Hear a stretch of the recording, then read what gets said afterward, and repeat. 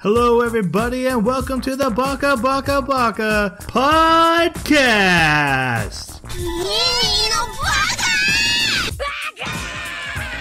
Baka! Baka! Baka. It's amazing how every time you open your mouth, you prove you're an idiot. Hello, everybody, and welcome to a very exciting new episode of Baka Baka Baka. Now, if this is your first time, we are an anime podcast. Every two weeks, we watch an anime, we come together, we discuss it like we're a book club. Is the closest thing I've ever in two years been able to think of of to what we do. There has to be something better, but again, we are Baka Baka Baka. Uh, I mean, we're we're a year and a half, something like that. It's, it's in that range. Shut up. I feel Uh, old. I mean, you are what you feel. it's gonna be like that, is it? okay. So we watched The Promised Neverland, uh, a very exciting anime from last season. It was a big hit, and we finally got around to watch it. I love when a new anime season ends because that means the anime is now available for us to get to. We've been hearing all this chatter about it, and we have to kind of like avoid as much as we can so we can come at it fresh. And now we finally got to watch this anime, and so we are here to talk about it. Let me introduce my co-host to do that. First off, we have the Oliver twist to my Fagin, Jeremy. How you doing, man? I'm trying to figure that one out. Why do you come up with the weirdest crap? How is that? How is that weird? Like Oh, I get the orphan boy. I, I get the al- a little orphan boy. Fagin was was the criminal character in. Oh, I didn't know his name. Me neither. I googled it. It's oh, fine. I'm, I'm not even sure I pronounced it right. But how are you? There's gonna be that one guy in the comments that's gonna yell at us like, "How do you not Yeah, know this?" Exactly. Yeah. And why do you care? Um, Yeah, speaking of book club, don't don't know book name. I know, I know, right? We don't even know how to use book club right because we're watching a visual media. um, I'm doing pretty good. Um, I've actually been watching a, a handful of YouTube videos uh, when I get the opportunity. Found a really cool channel, uh, Oh, Chris God. Ramsay. No, it's actually really cool this time. Chris Ramsay, he's a magician that does like puzzle boxes and stuff, and he's got some really interesting ones. He does them way faster than I know I would be able to. I'd be probably days. He does them in like a couple hours or sometimes half an hour. Really, really cool. Fun I, to watch. I apologize. That is cool. That is cool. That's right. My my favorite videos you've been sending us lately was the uh, origin of bunnies and their Oh, God. of history. RuneSmith. RuneSmith rocks, man. He is So a great. great. channel. He's got some great D and D ones called like basically Mind Flayers and basically Celestials, and he has the same format where it's just kind of like this dry delivery and fantastic. Great channel. Another one. So two for one. There you go. My co-hosts have no understanding of free advertising. All right, my other co-host is the Annie to my daddy Warbucks. Jason, how are you? Hey, at least I'm a lot more famous. Um, Depends on the crowd. Yeah. Yeah. Anyways, uh, terrible. Um, I have to have surgery on my hand, Oh, so that's that's that's pretty great. I have a ganglion cyst that's receded into the joint, and now it hurts to bend. Um, jeez. And I have tendonitis in my left foot, so I'm in a boot for three weeks. And then I rolled my right ankle today, and it hurts like crazy. oh so- my god. So are you? We need to get Like- you in like a bed cast. Yeah, right can you, you, you? You probably can't crutch with the wrist thing. So are you wheelchair bound right now, or Thank God it's the left wrist, right? Because like, how would you path of exile? Well, I'm so glad that's the direction you went. I, I'm scared. Um, uh, so with walking, the tendonitis is in the top tendons of my foot, so I just have to make sure that it's this. So I can uh, weight bearing is not a problem. So now I normal walk in my boot, but then limp on my right leg. Oh my So- God. I'm so broken. Oh man. and my name is Troy. I got to see the Detective Pikachu movie. Yes. You actually saw it already. I went and saw it. You know, I, I took my my seniors, twin daughters. You know, this might be the last movie I ever get to take them to, uh, like as a family.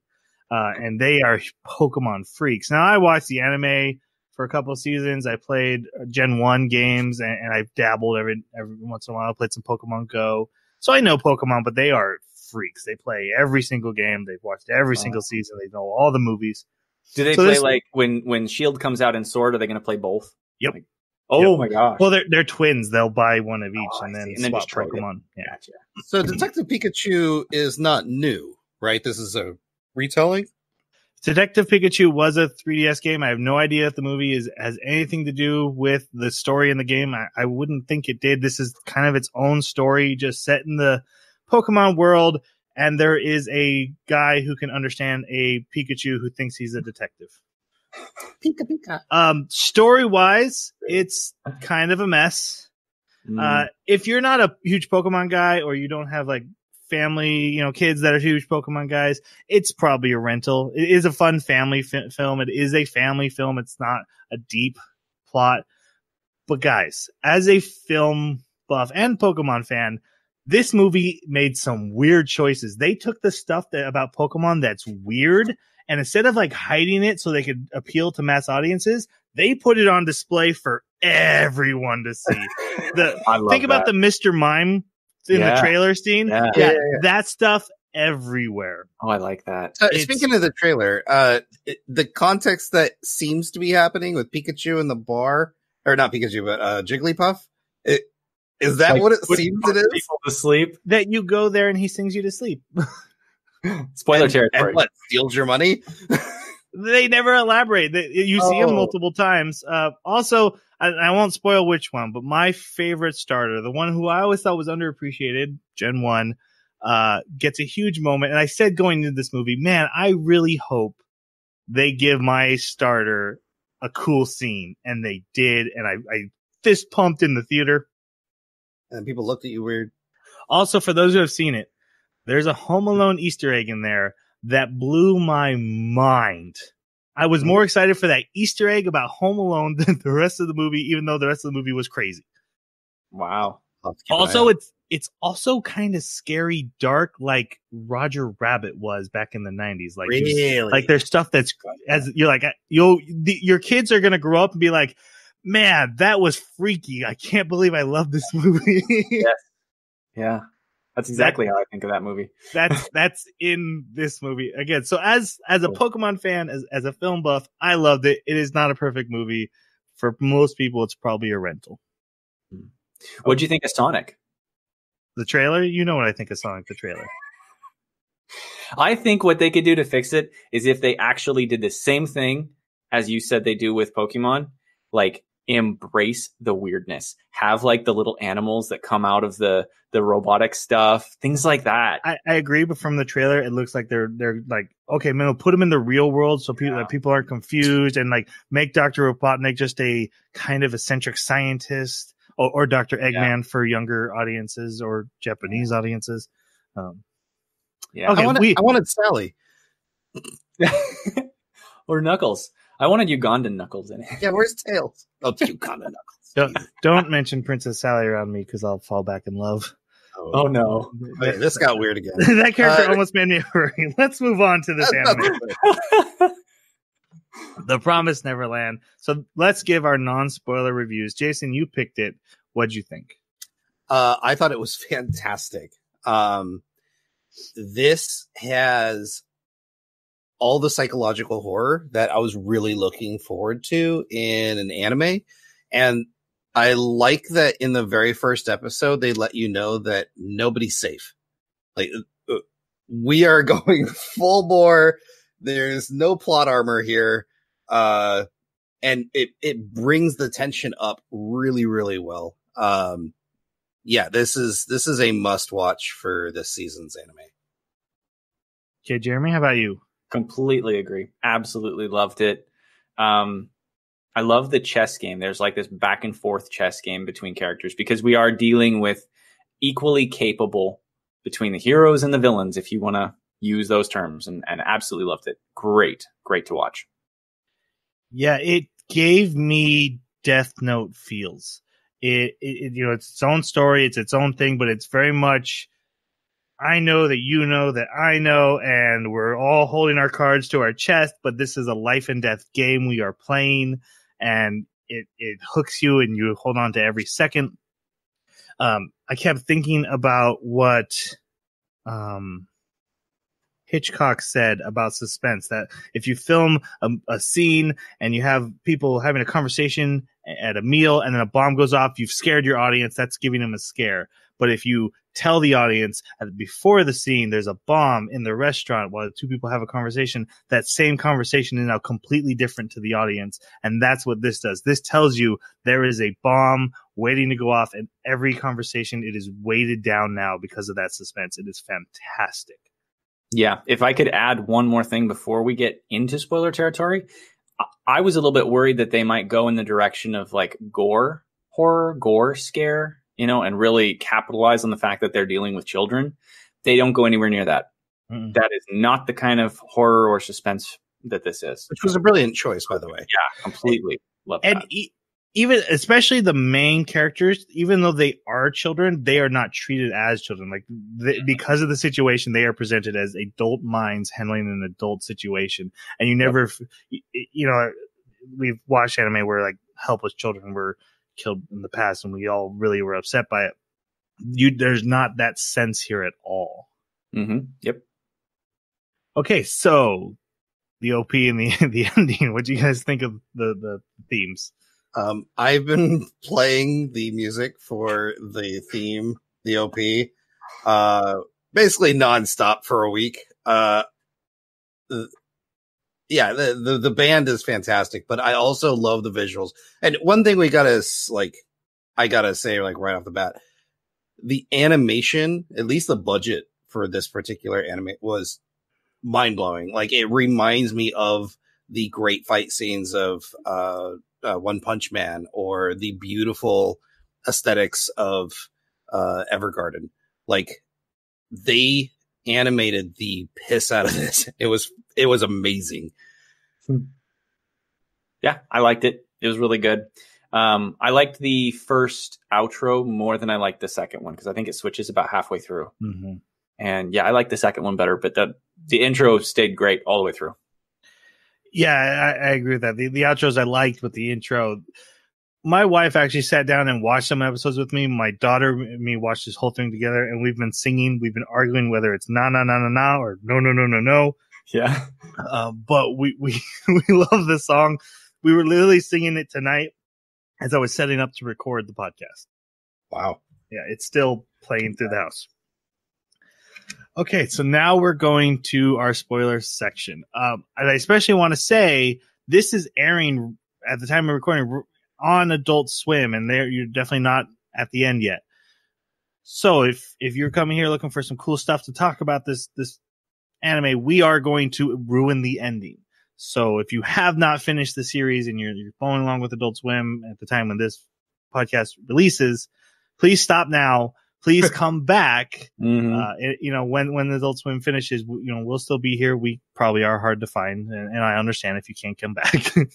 you will probably regret if you spoil it. yeah, try not to. I w- highly recommend not spoiling this one, but we are going forward with spoiler warnings. With that said, I had to talk about the OP for a second again now that it's because the OP has a major spoiler in it. About halfway through the anime, I turned to my daughter and said, I know how this is going to happen. She goes, How do you know? And I'm like, The OP has been telling us the entire time. it's What did you see?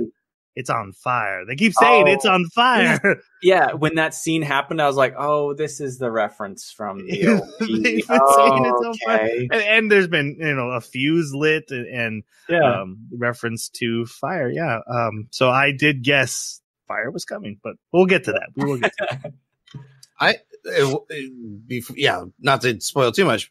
I'm actually really curious how Norman knew about the setting of fire. Like, how, how did he? How did he know Ray was going to do that? Do you remember the scene where um 'Cause when I- he wasn't sure about whether Ray was believable or not, and so he pulled his bed away from the wall when Ray, Ray wasn't in the room, and we didn't get to see what he saw, but he got this softened expression and was like, "Oh, that's." Oh, do you think you're he saw canisters of Yep. kerosene? Oh, Yep. okay, He Yeah. saw Ray. He saw Ray's stash.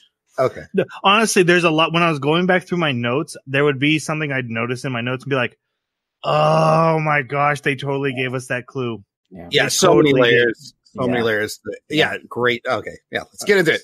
Get into it. um, we get a quick scene with three children visiting a it's like a little fence. But then we go into story properly. We come we're in an orphanage with 38 children. We meet you know at them as they're waking up. But the, one of the big characters we meet is Mama, Mama Isabel. Um, and I'm going to start with her because she is probably one of the most important characters, even though she, she's also the villain, and we have a lot to say about her. So, guys, Mama Isabel, our villain, our mom character, what'd you think? She, she's my favorite character in this entire anime, but she's my new favorite villain, especially of this season. Um, and I think that it, it's it's the psychological mind game she's able to play with this facade of absolute eh, cherishment and love for these kids. Uh, and come to find out, she really does like love these kids as if they were her own. Um, but unfortunately, it becomes very twisted way. But in all the ways that count on a day to day life basis, she loves them more than any other, uh, like orphanage, uh, steward would, right? Um, it, it, she loves them as her own. Unfortunately, it's, it's a vile, twisted version, but to these kids until what happens in the end of this episode happens, they're living an amazing life as orphans. Like it's hard to believe this is an orphanage, how well everyone is treated. Yeah, there were uh, there were points in time where I was genuinely suspicious that maybe mother had some some good intention. Like maybe she was actually ultimately trying to help them escape, but didn't want to reveal her own involvement in it. And of course, that's not what winds up happening.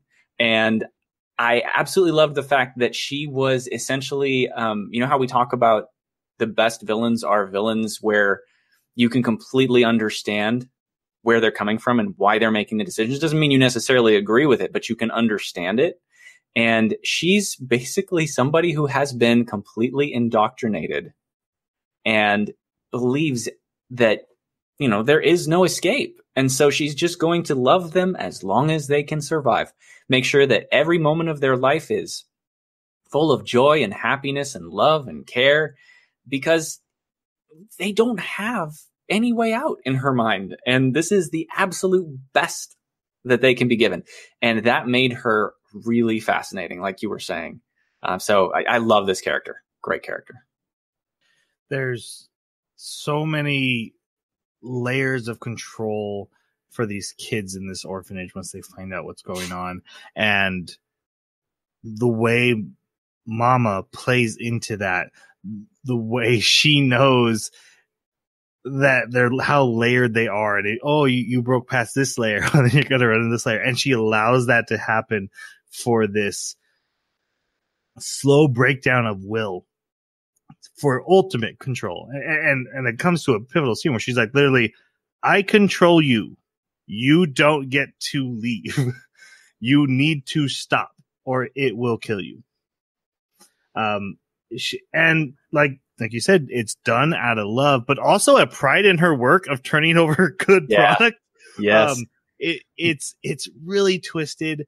Um, but she, and they, for most of the anime, they play it very close to the vest. She she's always just kind of one step ahead and you know watching a lot of watching it's interesting that you mentioned the control part because there's and i didn't really notice it until uh they mentioned it i think in episode six or seven she is literally 80% of the time holding one of the little ones mm. mm-hmm. there will be scene after scene where you see a couple people together together and she's in the background just watching. And if you're not paying attention, you'll miss her. But if you do look at her, it's nearly menacing, even though she has like a half smile on her face. um, the, yeah, she's animated beautifully, but the layers, and I think what happened is a long time ago, she made the choice that she was going to survive by any means necessary, mm-hmm. which turned into this uh, I'm going to deliver the highest level product that I can. Um, and, and because it, even though these kids think they're just amazingly smart, it, she passed those bars as well to be, get to where she was. Uh, and she's been there. She was them. So it, it's going to be, it's very tough for them to outwit her. Yeah.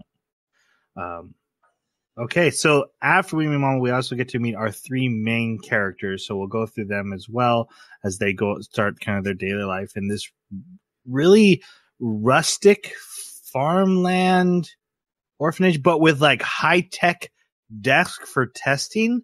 Like there's Yeah. just this hint of futurism in it, but every, they, like they're using oil lanterns. You know, it, it's it's got a really original flavor of world feel for it. Yeah, it's almost like you have the technology as the core, and then it's that's wrapped by the facade of, like you were saying, this villa out in the middle of nowhere. So let's start with Emma, six three one nine four three. you wrote the numbers down. Actually, I'm pretty sure my daughter did. I don't think I wrote these down. Now, Oh, I nice. did notice the numbers for the episode titles are the dates of uh, that the episode ends on, but I can't really figure out what their numbers mean. I are because they're very similarly formatted to the date numbers that we Well- usually see. I was really confused because um, I saw you mention that in the chat that it was the dates, but I really thought there was a point in the first episode or the second episode where they mentioned something about the year 2000 something. They did, but but okay, so like this first episode is 12 10 Huh. 45, so that would be the 12th of October in something 45. So you're thinking it's 2045. 22 45 25 25 like it could literally be anything um I just uh, thought it was 1945 because of the parts that he was requesting from the outside world. and, like and for stuff. for american audiences we put month day uh day year but everywhere else is smart enough to go day month year so the number that changes is those first two digits as the days roll through and then every once in a while the month will roll too but Hmm. this is all happening in that 45 year So what was the uh, on the neck? so the her number is 631943 so That doesn't make sense as far as a date. No. Um, because that would be either two years ago or I don't know. Well, there's no 63rd day of the month. Right, I, I- I'm aware. So it'd be like six slash three slash 1943. 1943, which again doesn't make sense. No. Yeah, not for the level of technology they have. But Uh. but the font matches. So I, I had uh, my daughter had a theory that it was dates, and we looked at it. I was like, I, I cannot figure out a way that fits. But I did want to list out the date. I'm sure somebody knows. What is the um, facility number? Is this number three, four? Or This six? is Farm 3. this is Farm Three. okay. Um, I wonder. I, I mean, uh, the first thing that I thought of when I saw this, because uh, before we decided to watch this, I watched the first two episodes when it first started airing. Um, just because i w- I've been looking forward to this one. Uh, the first thing that I thought of when I saw those numbers was, oh, they're cattle. yes, exactly. It's like an ear tag. Yeah, Yep. ear tag, a brand. You know, Uh-huh. Right, right. Um, so guys, what did you think of the character Emma? I thought she was fantastic. Um, it- I I think one of the great things about the storytelling, uh, which kind of leads into all three of these characters, is we get very little um, deposition as far as who they are, uh, but they tell in showing what they can do, showing how they act, and uh, what uh, what decisions they make in a particular situation. I love her, not just outgoingness and willingness to do the impossible, but also her ever love, ever loving um, optimism. Like she, she will see optimism in the most dire situations. The refusal to give up in Yes. this character is is amazing and how it plays through as a theme. hmm I have a love hate relationship with characters of her archetype. And I think what made me like her as a character, as opposed to just giving into the hatred of naive characters that are super idealistic and are like, no, we have to do it perfectly. Because anime- Yeah, exactly. I usually really, really, really have a hard time with that. But this anime owned it. Like they called her out on it again and again Mhm. and again. And people are always telling her, like, your weakness is that you're naive. Your weakness is that you're so concerned with helping others that you will let yourself die on that hill. And because the anime was willing to acknowledge that, I was like, okay, then you understand this building block and you're not going to use it as a magical building block to just solve problems, you know, with, with willpower. In the end, you're going to provide some kind of reason for why, if she succeeds, it could succeed. to build off that, the thing I love about Emma the most, uh, along with everything we've already said, is that you know we have Ray and Norman who are both geniuses, and we're about to talk about them too. But Ray, his his intellect is like direct. He finds the direct, obvious, realistic path and plans for it. Norman is playing 4D chess. He's thinking 300 moves ahead of you. But Emma's optimism and naivety is the only thing that outsmarts Yep. Mama because she can't fathom it. Yes.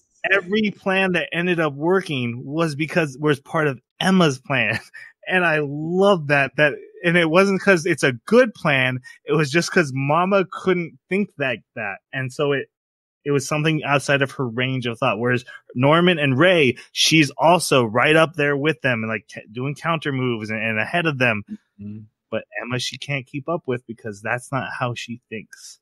is not the most effective path and she's expecting the most effective because that's what they're like all these kids are being trained to be the most effective right like 9 seconds you have 9 seconds per question you know mm-hmm. and and being idealistic is not going to be the most effective by definition so yeah that's I love awesome. I love how that optimism forces Norman into really not just uncomfortable but really desperate situations and planning. Like, how do I make this work? Because I do not want to see her cry. yeah exactly Yeah. I, I didn't even realize it once it finished. It was like it was actually the day before uh, we recorded this. I was just sitting down, like, man, everything that ended up working that that Mama couldn't figure out came from Emma, despite her not being the tactical genius. And actually, I was a little worried because most of the anime we don't see Emma doing much in planning. She doesn't have as much con- contributions. We see Ray and Norman constantly thinking up new stuff, and it's like oh, Emma is the physical one, I guess. I guess we'll see that eventually. Um, but it ended up going a different way. I loved it. yeah it was really cool Okay, now Ray, who is the black haired orphan boy, like I said, he's the direct, you know, the most efficient way and the real realist of the group. What do you guys think of him? Uh, I thought he was a great complement um, because you know he's not quite at Norman's level, uh, but he kind of sees things for what they are, um, and he can extrapolate uh, very quickly. And it, it's funny though because I think he's been playing a long game for a Yeah. long time, um, and, and that's the thing is he's willing. Not only does he's direct and let's take the path that is you know most likely to work. Uh, but he he he plays like five different long games all at the same time and he's able to keep track of all of them um and at first i kind of didn't like him just because he was uh you know he was the typical outcast character that's really smart and da da da. But then also you realize oh he's been reading books this whole time but he hates reading. Yeah. Um you know and we find out about his relationship with mama and that he has that ability not ability but like uh, apparently the infant amnesia he just didn't get which most people do uh, which added just a whole nother layer to him. Um yeah i i actually ended up really really endeared to this character yeah, this was my favorite character. Um, and it's probably because I most identified with his approach to the problems. Like, this is the most effective. Yes, this makes sense. Sure, that's wonderful. That's an idealistic approach. And you, you, yeah, you want to do that, but then we're all going to die. And I don't want you to die. I don't want to die. I don't want you to die. We're going to do this this way. Even to the point where he's like trying to force Norman to, to backstab her. I'm like, I totally get that. That makes sense. I understand this tactic. This is this is very interesting. Um, when I learned about the infantile amnesia that he didn't have, um, that added a huge layer to his character for me because this changes everything. It means that Norman is a, is a genius. Norman is just a genius. Uh, Emma is perhaps I don't know what the appropriate word would be other than genius, but she's she's up there with Norman. Ray had to cultivate this through study and remembering everything. And that to me is absolutely fascinating because it means that this whole time, well, the other two were, you know, they were succeeding and, and I'm sure that they put some effort into it. This but but it's like, their natural talent. Whereas natural talent. With, with him, it's like, I'm going to get perfect scores so that I stay alive. I know that's what's necessary. I'm going to keep doing it. Doesn't matter how hard I have to work. I will remember this. It was that in a way, that was willpower triumphing over the circumstance as much as any of the other times you see it in anime. And that was really fascinating to me. Um, yeah. I, I saw Ray the first time and I was like, man, Jeremy's going to love this guy. yeah, I love that character. that, was, that was my first thought. Like, like a guy who's like, yeah, I want to survive, but here's a realism uh, to it. But what I really loved about it was that, you know, this anime sets up, you know, the kids versus the the system, the the the demons, mama. But instead, it starts breaking it down into factions. So there's Norman and Ray who want very similar goals, but they are different goals. So they're also playing against each other while trying to work together. And then we're also going to get another a, a, sister who comes to the house, and so that that's a whole nother. So there's actually like four people all trying to out strategize each other with sometimes sharing goals and sometimes not sharing goals. I love how multi layered and faceted it got, and, and Ray is one of the best examples of it. Okay, and then last but not least, uh, the beautiful albino boy, Al- Norman. What do you guys think of him? He, he breaks my heart. Um, yeah, I again just loved this character, uh, and and just like you said, he is playing 4D chess with 10 different people while being in this anime. and he's uh he's so far ahead of all the others. But what's scary is no matter how how many plans he was coming up with and how many ways he was able to achieve some of his goals, it seemed like Mama was always just one step ahead of him, or at least was aware of what he was doing. Um, which it speaks to Mama's intelligence as well. But um, yeah, I I think what really endeared me to him is it. what was great about this anime is you didn't get the I'm not sure if you can call it love interest because they were only what 12 but he said he liked Emma in and it seemed like it was more of a friend more than just I like her as friendship and that was so uh, it, you could almost call that a weakness for him because it did hold him back from the reasonability that Ray was trying to present to him mm-hmm. and uh, I think that gave me a soft spot for him because he's like, I'm going to use all my abilities to try to make this girl's wish come true because I like her and I don't want to see her cry. Um, and, and yeah, so his, his, his maneuvering of everything in this anime was really, really fascinating to watch. Yeah. Yeah. It, it was really interesting. It almost, it's almost like I would, I would rather see her die than see her cry. basically. But I, I do completely agree. Uh, there was, I think, some of the best scenes. Now, my absolute favorite scene is right at the end, and this is not one of it, none of these are that scene. But some of my favorite scenes are the moments when Norman realizes that his plan has been predicted by mom, mm-hmm. and the way his eyes shift to deal with, you know, oh crap you know, everything just fell apart in my head and I have to completely reassemble it all, taking into account all of these different things. Beautiful. very short amount well done. Yeah, like immediately. Um, so, so well done. I don't think, um, yeah, I'll leave that for later. We'll spoil it as we get to it. It'll be more Im- impactful that way, but I think it's a good call. yeah, but I, I, I really like, I really like Norman and yeah, yeah. I absolutely agree with what you guys are saying about Norman. I, I especially what, what, Jason was saying, the, the fact that he is the smartest of the three, but that he's not detached from his emotion and is like, I know this isn't the best choice, but I love her. you know, I know. yeah. But I, you know, I'm gonna, I'm gonna do this for her, even though that's not the way it's gonna work. Even though, he, like, he's having dreams of failing and Ray dying next to him, being like, "This is what I was trying to tell you." Uh-huh.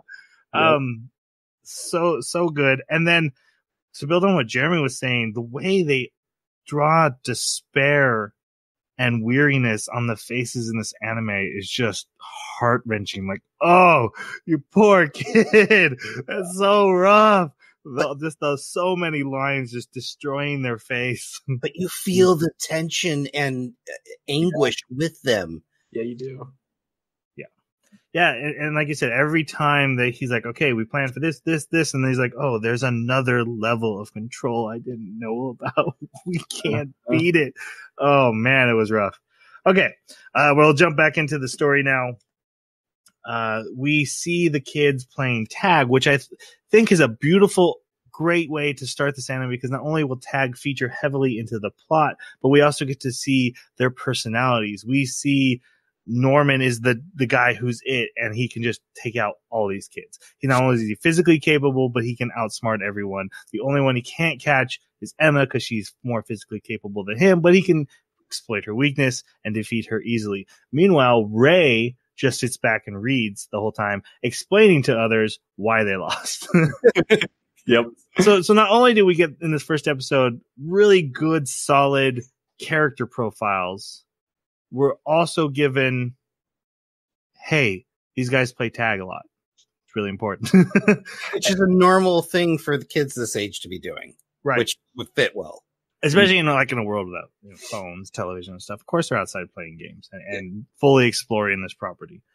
Um we do see a fence line which is just like this like two foot high metal bar with slats that you know that they could just step over really and they're like we were told never to go past this. And and this this is a beautiful foreshadowing of everything. Like this thing that's totally passable that's not the real thing keeping you back.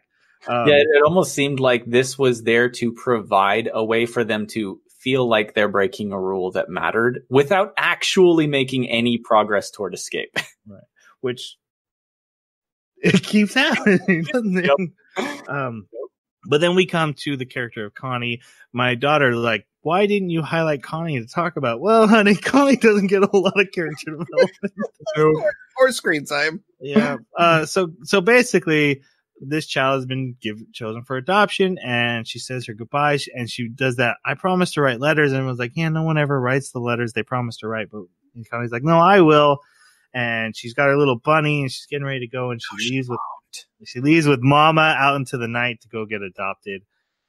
And Norman and Emma realize she left her bunny behind, and they take the bunny and they run after her. Now, one thing I didn't catch until later when they talk about it Ray, is Ray's the one of Ray's like, "Oh no, i- i- if you run now, you could probably catch him." Uh-huh. This was deliberate. yep. Again layers on layers. Like you, what you think you saw isn't what you think you actually saw. Yep. um. Yeah. So they run out into the night. They run to the gatehouse. There's a truck there, but they can't find her. And eventually, they look into the back of the truck, and she's dead with a flowers with a flower sticking out of her chest. What is it? Do they eat the flower?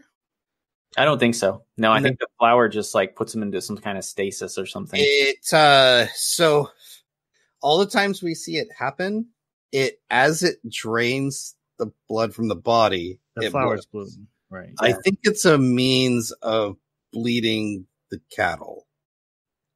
you think it pulls all the blood out? Yes. Oh. I mean, she's she's dead. I don't think she's in that like catatonic. she's- She's dead. But she's gray, like mm-hmm. gray, gray. And same thing happens to Sister Crone. Oh, spoiler. Um, but like the color pulls out of her skin as the flower blooms. Huh. Hmm. I, I, I it think never occurred to me that it would have been able to draw all the blood out, but you could be right. I, I have a feeling that's exactly what it's for. Is instead of like with cattle, you know, you string them up, they, they use this flower.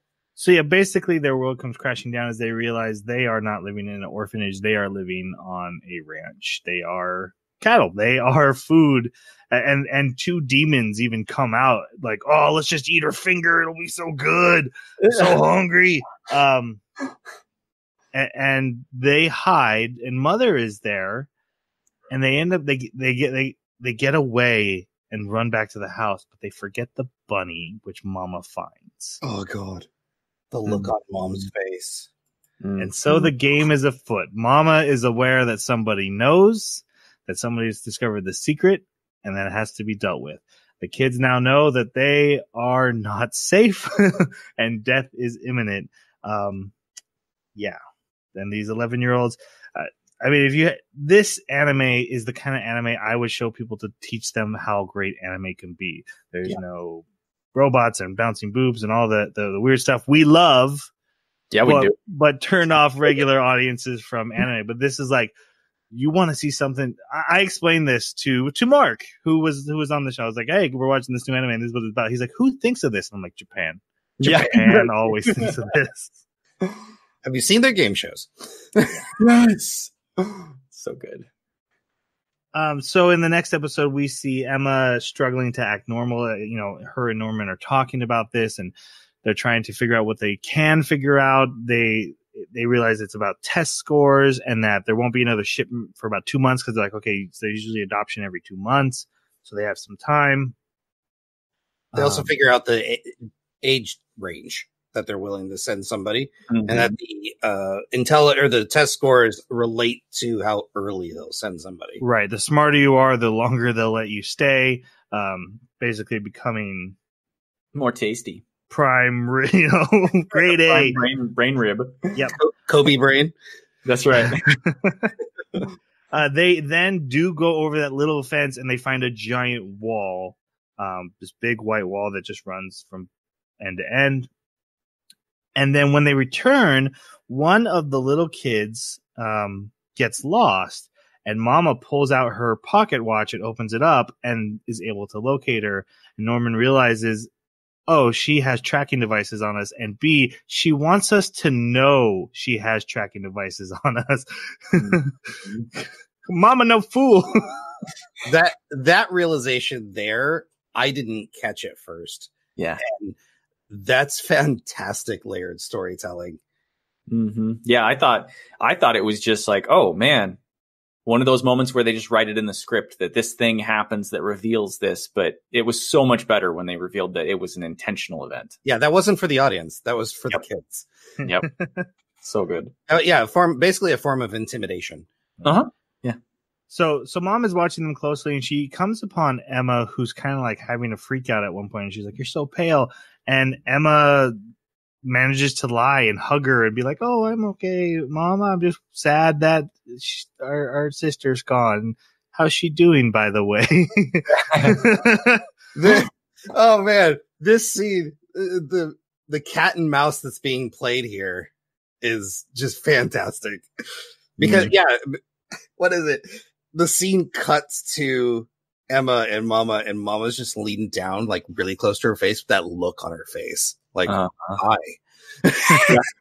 just And- Oh, it's And- you. and then a, a couple scenes later, like Mama co- is talking to Norman and, and Emma, or it even might be the same scene. She's like, "Hey, have you guys been to the gatehouse lately?" and they're like, "Nope, nope, we gotta go to dinner. Bye." Yep. And then they go downstairs and they're just like freaking out. Um, again, the, that cat and mouse of uh, here's here's a here's a little bit of my card. I'm showing my card. Okay, no, pull back, pull back. Well, and, and they even incorporate another player because Ray is the one that comes at that moment where, like, With as the audience, dildo. we're wondering what is going to happen. This is escalating really fast. This is getting really bad. It's obvious that she knows they were there at the gatehouse. They just showed their cards. And then you hear ding, ding, ding, and you look over and it's Ray. And you're like, what does Ray know? which we then find out that the next day um, they decide to start building a rope to get over the wall and ray shows up and he's like yeah i've i know. I know everything. Um, and, and he points out to them like oh you think you're just going to go over the wall and you're going to be done? Think about what's out there if we're being kept in here. Like that's their world you're wanting to go out into. You need more than just getting over this wall. It, yeah, it made me think of if we had uh it wh- what happens when horses or cattle escape out of their pens? Well, there's a whole society of humans, so We're like, hey, you should be in a pen, shouldn't you? right, And, we better gather these things up. and it made a lot of sense too because it takes you back to that first episode when they were little because we get a we get a little little moment of them being little little kids and they're looking out and they're saying, "Hey, what do you want to do? Oh yeah, Get out and get adopted." And I, I want to draft. Yeah. And Ray's was, I want to survive. And I'm like, wow, that is hardcore, man. And then Lee realized he already knew. Uh, Ray again, like we mentioned, Ray is, is like, okay, we can escape, and Emma's like, nope, we're all escaping. Um, And Yeah, she'd argued this with Norman before. And so this is like the second time she's now arguing it. And then they come back, and Mom's like, hey, there's a new helper in the house. This is Sister Crone. What'd you guys think of Sister Crone? Terrifying. Absolutely terrifying. Um, this was fantastic because, you know, as we learn later, Sister Crone and Mom, Mom Isabel, they both came from very similar circumstances, right? And they have a very similar baggage in how they were indoctrinated and how they got to this point. But they both handled that in very different ways. And it has had a, a toll on Crone where she has not been able to keep it together the way Isabel has. And it makes her terrifying. Her doll that she carries around from when she was a little girl and she still had like this little baby doll. It's not doing so well now. And it, it is a reflection of her psyche. And I absolutely loved that. She was absolutely terrifying. It's just yeah, Sister Crone is just broken, Mm. but she doesn't show it in a despair or uh, uh, she she's just she keeps it together just enough to get through her day with the kids as just a eccentric, happy-go-lucky caretaker.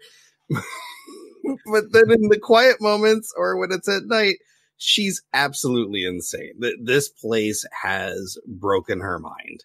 Um, but she has ambition, which is interesting that she's, she wants the end goal no matter the cost. Do, and I think it's a big push from the survival instinct, right? Um, but yeah, I, I really enjoyed her addition to this because we find out that she's not exactly on the same team as Mama, Mm. but she kind of wants to be on that team. But she she knows that she she she's basically trying to usurp her from the moment she steps foot in there.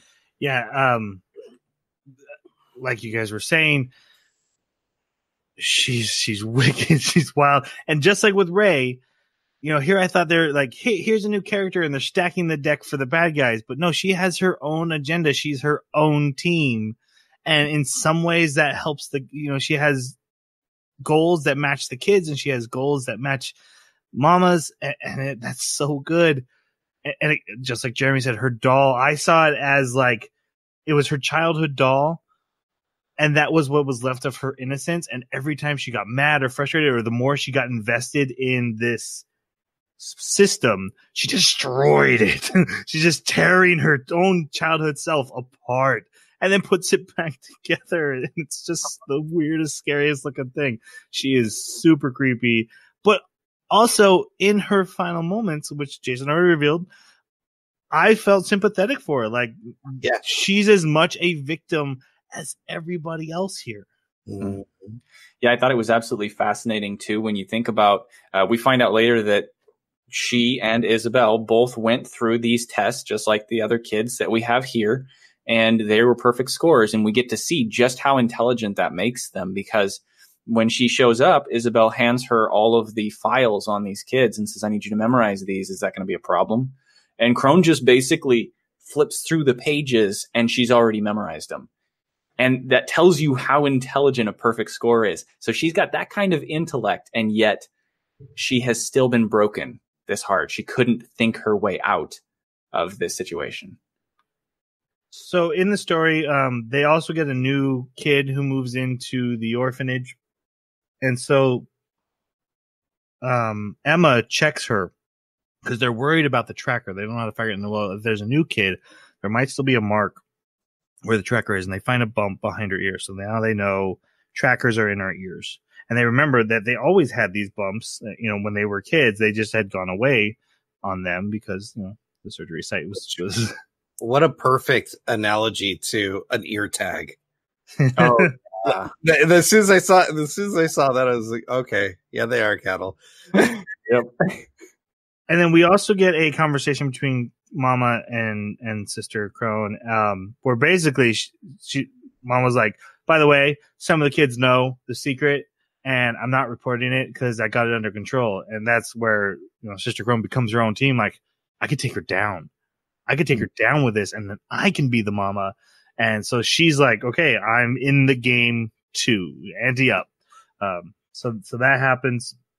They clearly do not like each other we also get a scene of the demons eating, which I think is the only time this happens. And Yeah. they talk about the one and how the special kids, specifically like Norman and Ray and Emma, are reserved for the one.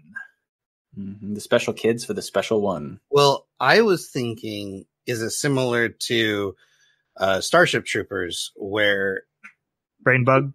they well, and it, it ingested the brain to fuel itself? Is the one needing more brain meat to make sure it stays intelligent, or at least stays on top? Like, does it need that prime? This is why I want a season two. So, so okay, to, to set that at the end of, of our review, we are going to have a discussion of whether we want a season two or not. We all decide we want to talk about it. We've all have different opinions on it. This is one of those threads that they leave dangling Yeah. out there, not resolved. Yeah, because the yeah these demons or aliens or monsters or whatever they are, we get very little screen time, of them, which yep.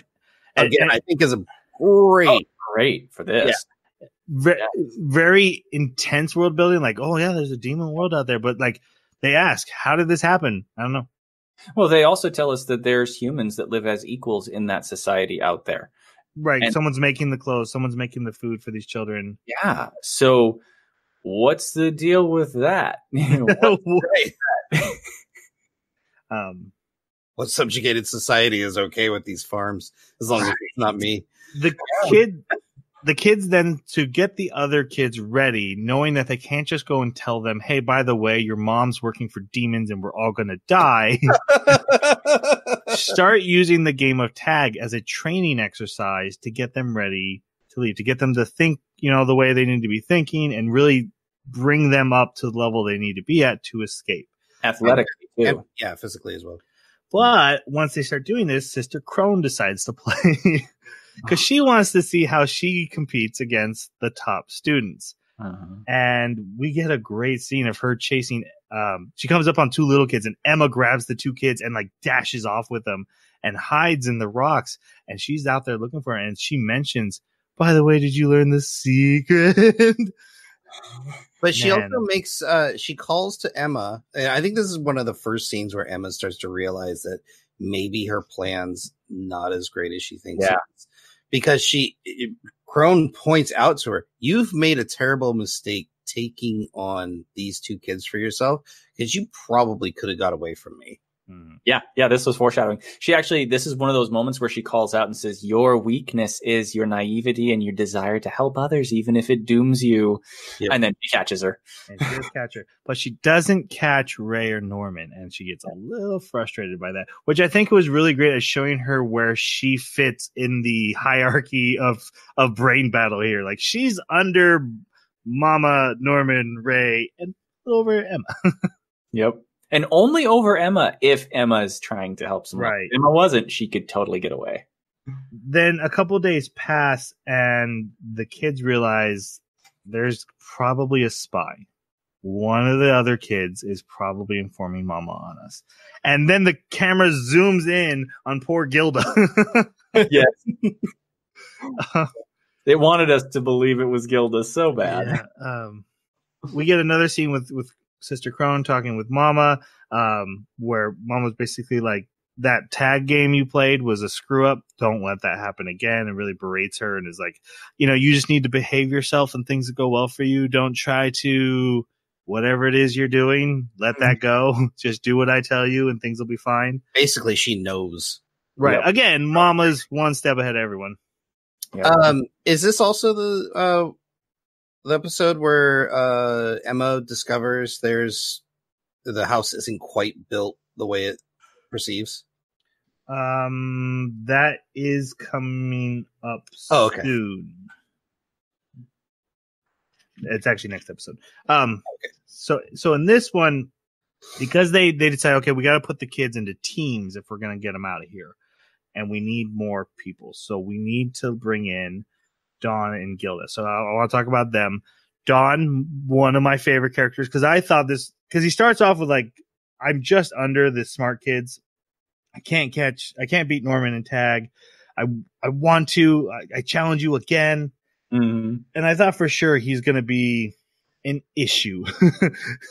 that you know hi- his own selfish desire and the need to be the best, and they didn't go that way with him. He kind of admits like you know I'm not as good as you guys, but I I want to. I'm still a part of this family. I'm still useful.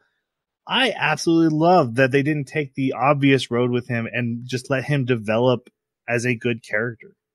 Well, yeah, and I mean they do like they head that direction very soon. They give him a moment to explore that idea and then come to the realization that it's not a good path. And that was kind of cool too.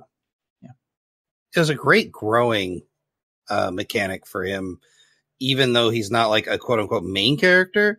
He Mhm. he gets his spotlight, he gets his character growth, and he feels like a real part of this team and also a necessary part. Mhm. Gilda a little less so. She's kind of usually the person to point out flaws in plans, which I thought was kind of cool. And she is kind of our patsy for this, this next episode. We're always like, mm, Gilda, I'm on to you. Uh, but you know, she was she was a sweet girl, but not as important as the other characters. I'm really glad because usually when you have the big glasses, the mousy character, she's going to be super, super smart, right? Mm. She, she's going to be the book nerd. Mhm. and she's going you know, they're going to find certain insight from her. I'm kind of glad they didn't go that way with her and make her so cliche, uh, but allow her to be important enough to this plan that uh, she's needed, even though she didn't have the spotlight that Don did. We also meet best character Phil, the little Oh, Phil's awesome. four year old who's who's the next level of prodigy, you know, next generation prodigy Yep. coming through this family Why does Uh, I I th- cat mouth? because he, cause it's He's adorable. mischievous. Mischievous. Mischievous. I thought they were setting him up for something more, but they did what they did set him up for. They did set him up for well. Like it was like, okay, this 100% makes sense. You totally put in the time to explain this coming up to it. Yeah, the very first uh, characters that I suspected as being the traitor were were Phil, Gilda, and uh, and Dawn. Because I mean, there's even scenes where you have the main characters chatting and talking about their story, and then you have the camera angle almost seems like it's coming from a place that's too short for anybody except Phil.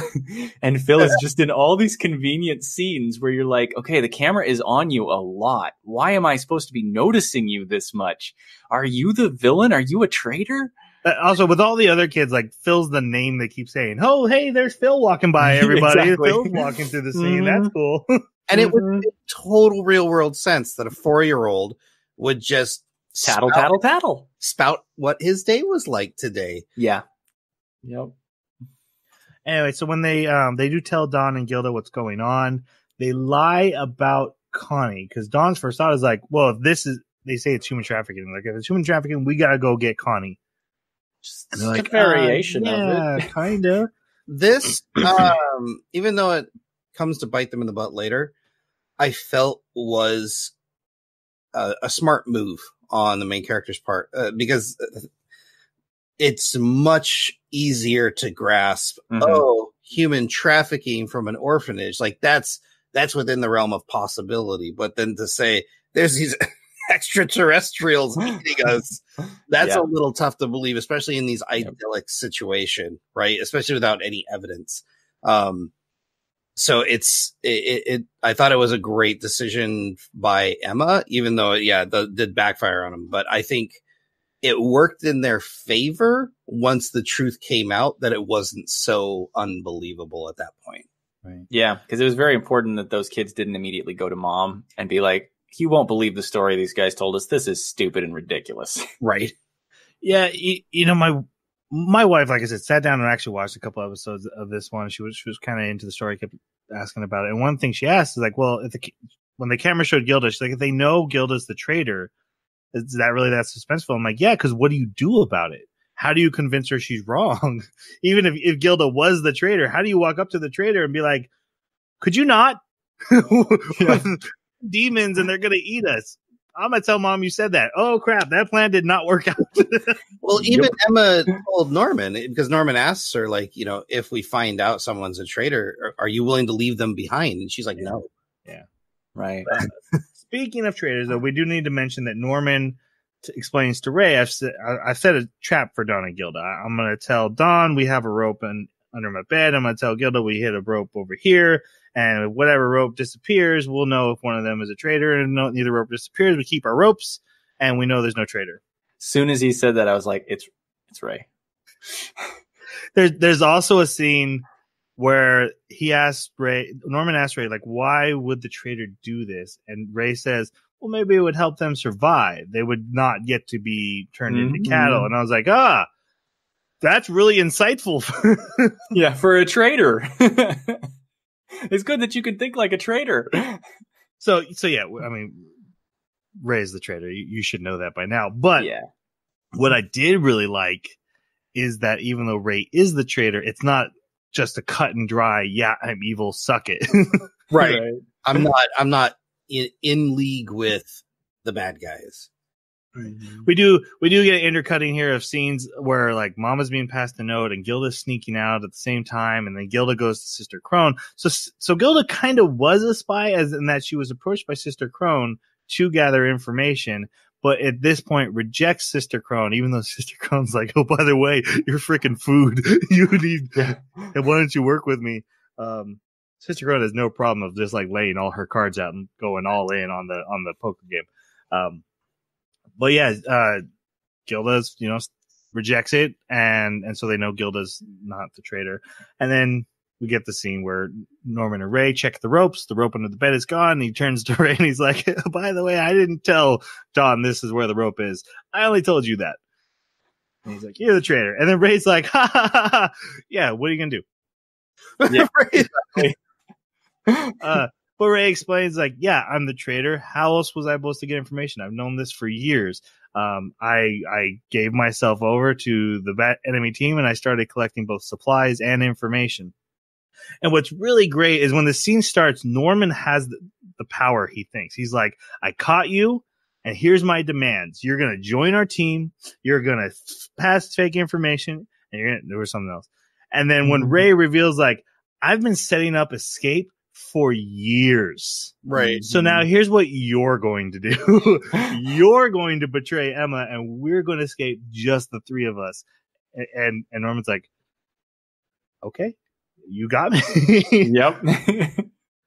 uh, so, such a good scene. And then there's this great scene where Norman or yeah, Ray walks out. He's walking down the hall. He's got this big smile and, and Norman's sitting on his bed, defeated, you know, frowning.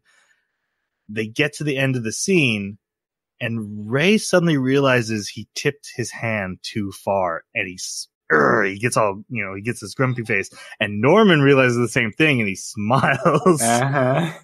He said a little too much, which we find out later was he didn't say the three of us are going to escape. He said I'm going to get you guys out of here. Yep. Um, I did love the reasoning from Ray is that I want you guys to survive. And that was Yep. really disconcerting to hear for me when he said, I've been doing all this so you guys can live. I was like, you, you don't plan on living. Yep. Yep. um, Ray then they have this meeting with Emma and he's like, "Oh, by the way, I was the traitor." Uh, to- Yeah, and Norman's like freaking out. Yeah. I wasn't gonna tell her. Uh, but then Ray points out, by the way, every mistake you guys made, who do you think covered you? You know, who who do you think's been cleaning up? Who rang that dinner bell to get you out of your little Mhm. interrogation? I've been following behind you and cleaning up your messes. You, you Yeah. should be thanking me that I'm the spy. I thought it was interesting that Emma then says, "Wait a minute, does that mean that you've just been standing by as every child has been eaten?" Not only that, and she mentions like how you know how, how have you been testing the trackers and stuff? What have you been doing to Mhm. the other kids? And he's just Yep, and she's like, nope, maybe don't tell me because I don't want to eat you. that's right. you did what you had to because you know what? None of you would have survived without Ray's foundation. And then he, then we get the scene where Emma reports that she- she's realized mom has a secret room, and and Ray's like, yeah, that's probably where she radios back to headquarters. And Don and Gilda are like, well, guess where we're going. They're like, no, don't do that, and then they go do it. This was that moment where Don gets to show like how he could be a foil. Hmm This And- was so bad. I was tense the whole time. This was super tense because yeah. like Jason pointed out, because a cute little girl died in the first episode, there's no one safe. Mm-mm. There and and th- honestly, this anime doesn't have a ton of death, but it doesn't matter because there is no plot armor. There is no one who is guaranteed survival at any moment. I- If Don had died in this very moment, it would not have been a surprise. It would have been like, yeah, that that makes sense in this show. Mhm. Yeah. That's fantastic. Um, I, I was 100% convinced both of them were going to eat it uh, down in this thing. But I love that Don somehow has the ability for like, like New York City street bump and snatch. Yeah. Like, where did he learn that? But it's fantastic. Uh, I mean, you, you got to assume these kids are probably more physically gifted than any average kid, right? But yeah. Uh, also, when they're first breaking into Mama's room, uh, the door starts to open, and there's Phil. Yep. Uh, or there's your kid. I think it was a cat freaking Oh. out for no reason. So yeah, the when that door opens, there's Phil. Hey Phil, how's it going? but they do get the key, they do sneak in, and not only is the radio room in there, but also all the toys of all the kids that have yeah this behind. is this is where i thought that maybe there was some potential for mama to have some sentimental attachment to the kids as like a regret and a wish that maybe she could help some of them escape and so she's like i mean there's there's a books that show up later that i have no idea where they came from or what they're supposed to do or who wrote them or how they're how they're supposed to help i thought maybe mama penned them and uh, obviously not but yeah, seeing her her little basement and what she had kept as mementos of all of these didn't strike me as a serial killer as much as a sentimental mother.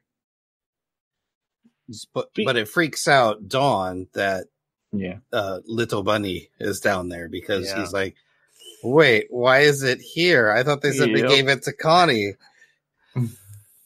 the so yeah, he realizes he's been lied to, him and Gilda, but at the same time we're getting to keep the tension high. They're flashing back to the over to these scenes of the other the three main characters in the library looking at the very books that Jeremy just mentioned, the books with the owl stamp, and they have Morse code encircled around these owl stamps, and they're trying to figure out what this this coded message is. It's from an author named Minerva, but we don't ever. This is another one of those loose threads that they just kind of leave out in the wind.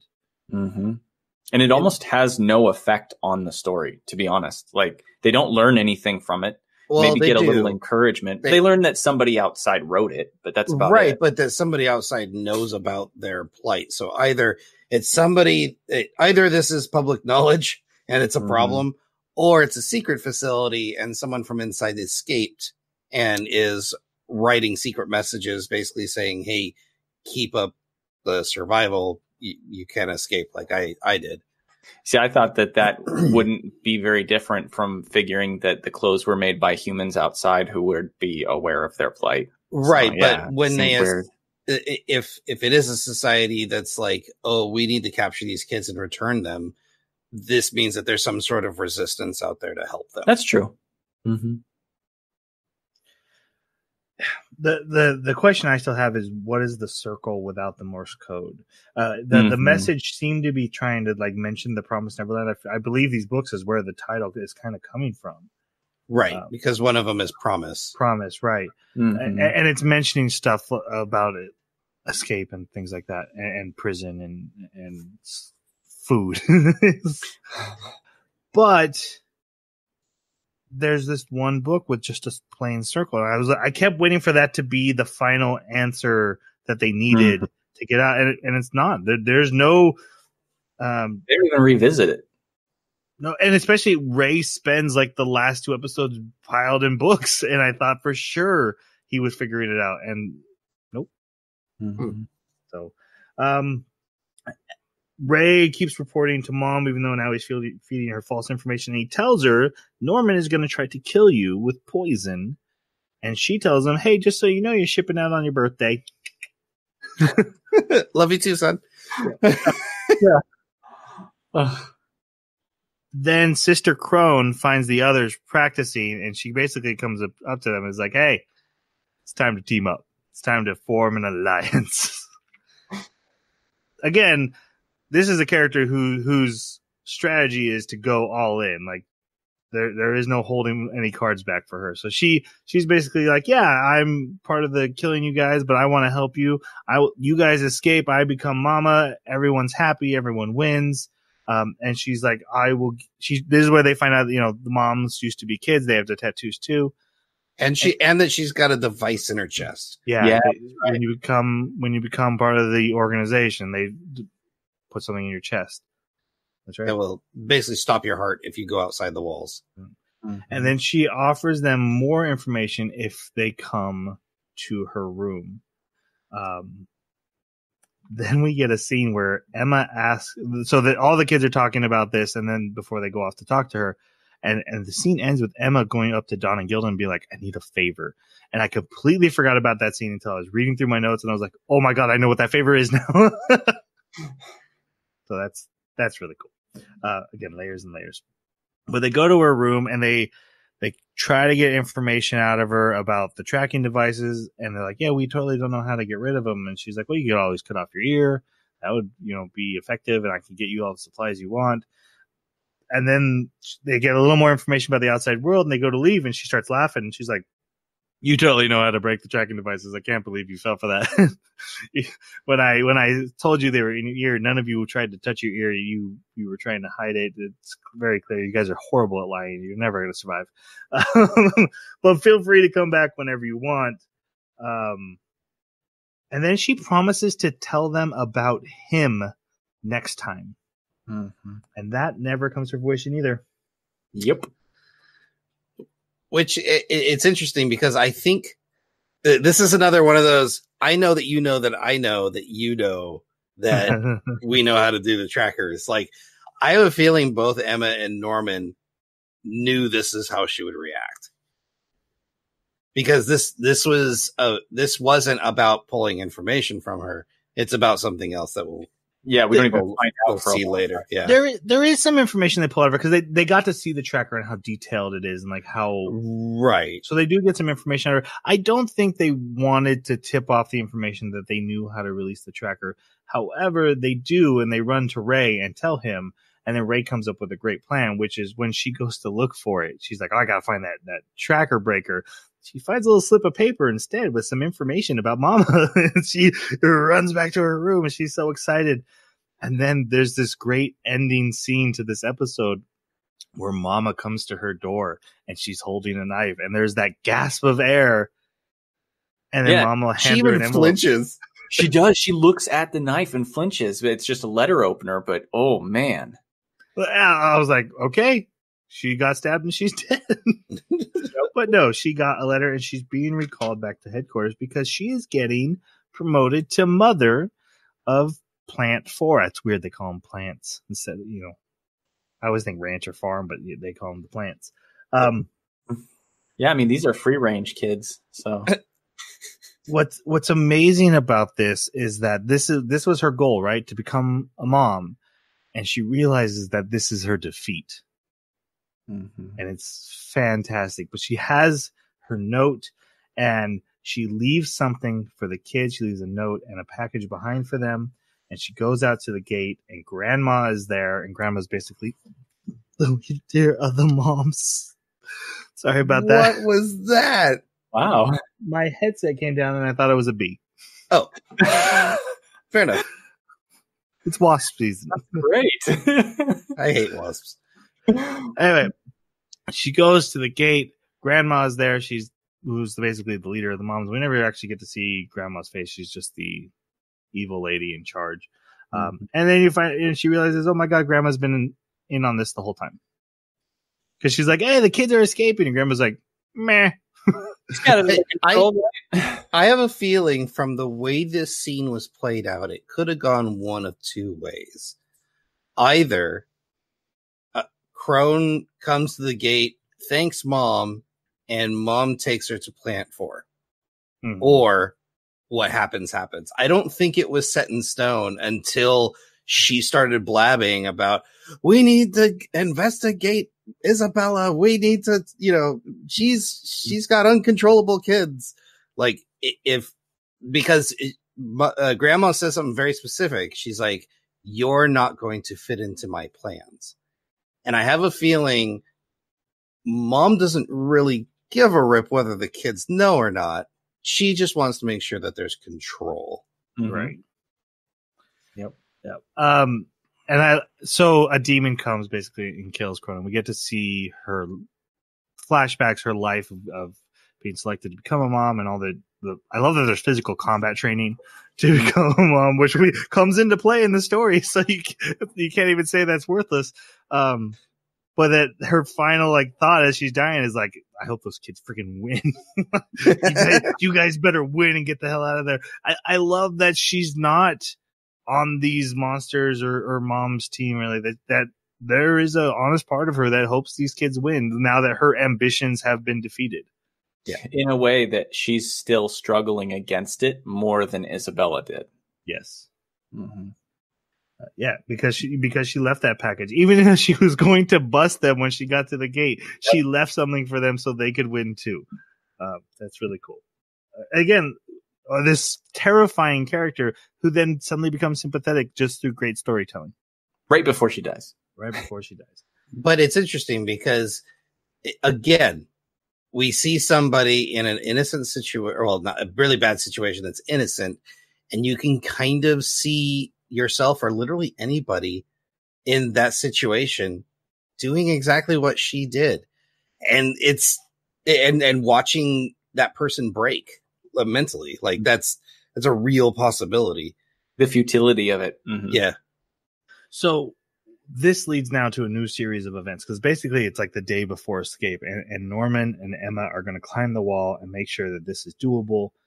Oh, this, and, this and, and so Ray ha- is is going to help mom find the poison chemicals and which will keep her distracted.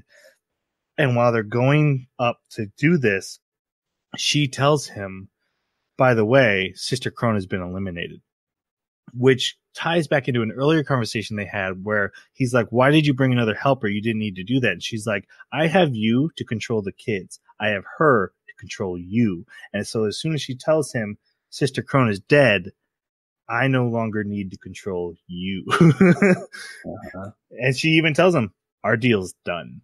Yeah, I, are I, fired. I know you're. I know you've been lying to me. I know you're no longer playing. You know, on my team. I've still been using you. It's completely fine.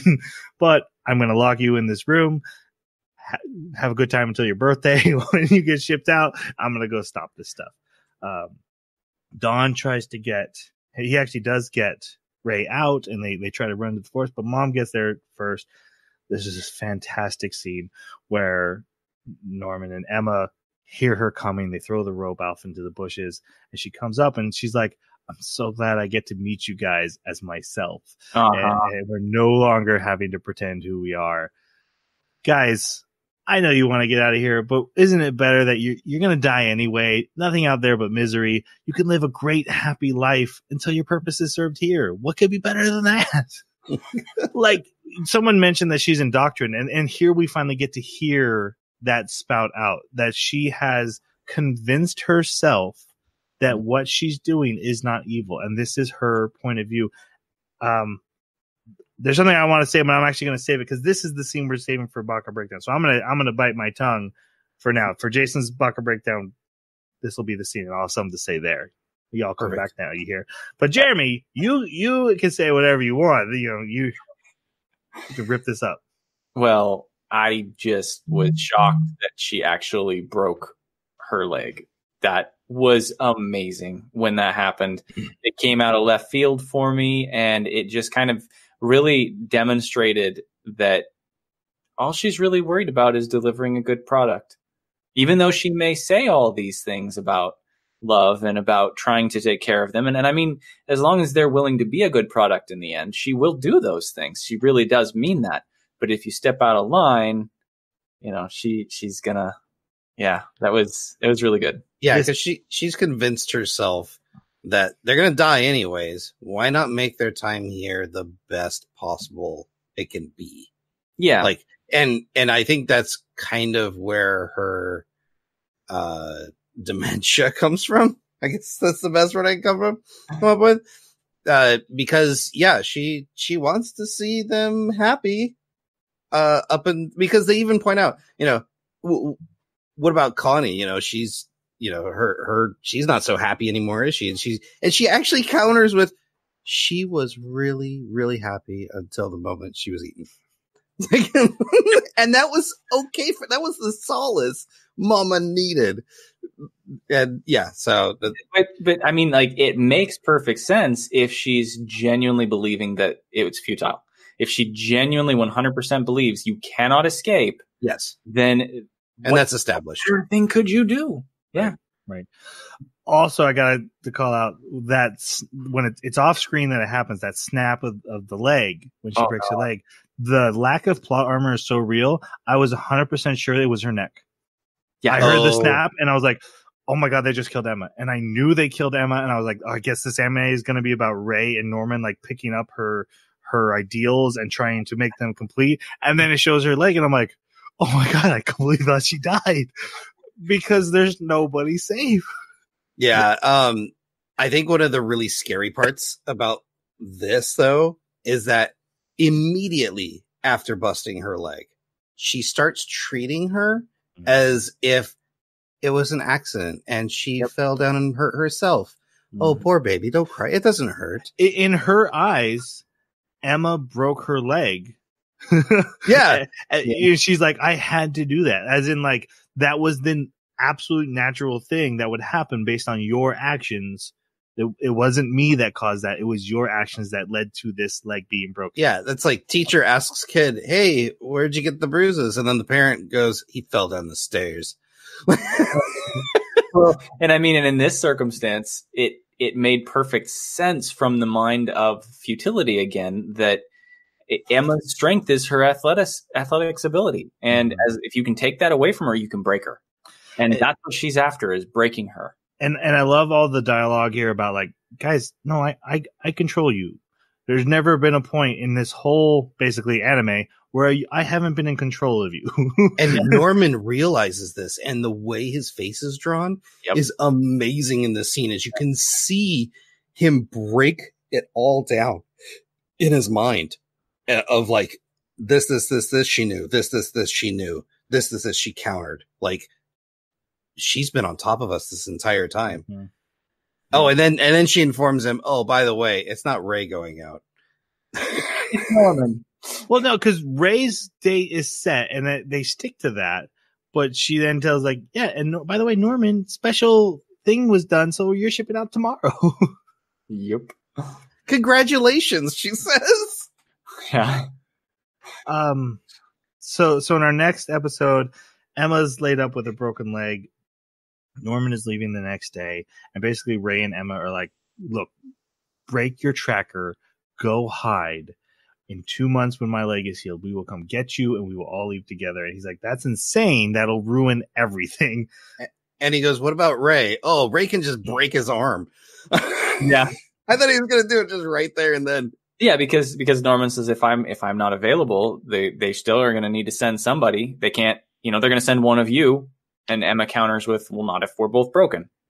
how did you guys feel about and it was i really noticed it here and it's not the first time they did it where the hallway is cgi and the character is drawn and walking through the hallway and so the like we get to follow him as he goes down the hallway of the house it's when he goes to get the drink of water there's this long him walking through the house and and we get to go with him because they use cgi for the hallway Did, good bad It didn't feel wonky at all. The only part that felt wonky was the first person um Going through the halls. yeah, there there was like going up the stairs and opening the door, and it was meant to show from a first person point of view like how short the person was to give you an idea that it was someone Mhm. younger.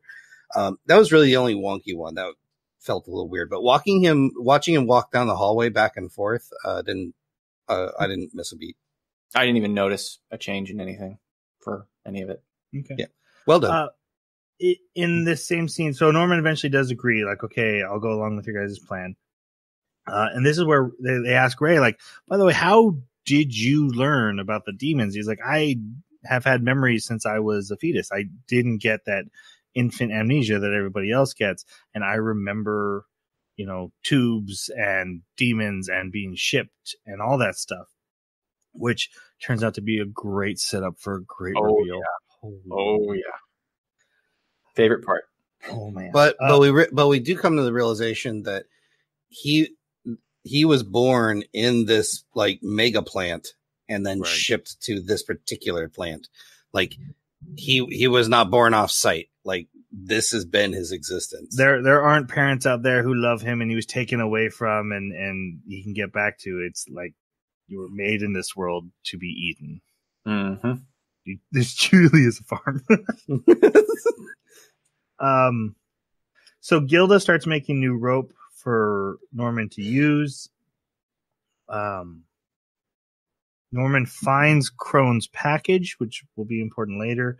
He then goes to the wall on on the day uh, he's supposed to ship out. Um, he climbs up to the top. He sees this endless forest, and at the end of the day, Mom goes to check her her tracker device. She's like, "Where's Norman?" Oh, there he is, and he's come walking back up, and and Ray is just like losing his mind, like, "Are you kidding me?" Yeah. devastated And and Norman's like, "That's a cliff. There's nothing past the wall but a cliff, and you and a huge ch- ca- chasm, chasm, Yeah. Chasm. chasm to the other side. I know English, yeah it's not something you can just jump across but No. it's again the despair on his face, the anguish, the weariness, so well drawn. but yeah this calls back to that tiny fence that they Right. first come across it's like what's beyond the tiny fence oh a really big wall oh what's beyond the wall oh not just an endless forest but a chasm A Chasm. Yep. Circles and levels of control endlessly. Um, Mm-hmm. so he tells him everything he saw, and he explains how we're basically like in a triangle of this giant Hexagon. hexagon, yeah. Mhm. Um, and that the only way out is at the HQ. There is a bridge. Um, that you could, so you could go around the wall to the HQ where all the demons are, and there's a bridge there. and That'd be the only way out. Um, and then he tells them though that when I told you I'd survive, I was lying. I, I never intended to escape. Um, so he says his goodbyes, and we get this really cool flashback of when he was sick, and Emma kept coming in to visit him, which both shows why he loves her, but also that Emma never quits at anything, no matter how stupid Yep. it is. this god this flashback felt so out of place at this point in the anime because of how happy-go-lucky everyone was like she sneaks in mama tells her to leave she leaves mama tapes the door with like caution tape Mm-hmm. and then she breaks in again and here's mama like holding her upside down like taking her out she's kicking her legs and everything's just so like you know normal happy and it's like this is really disconcerting I It is- loved it. It was yeah the layers of complexity because, like you say, we knew what was really going on and what what Mama must really be thinking about. Absolutely love that. Yeah, it's a good contrast. You know, knowing what we know about the ending of this uh, anime, this scene has completely new context where he goes and says goodbye to all the children, and they're all like, "Goodbye, Norman.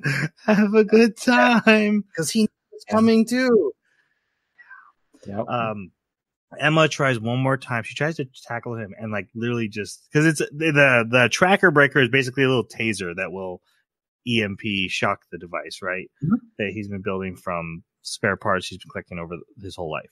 Mhm. Um, and she Emma tries to tackle him and zap him with it, and he manages to stop her and hide it.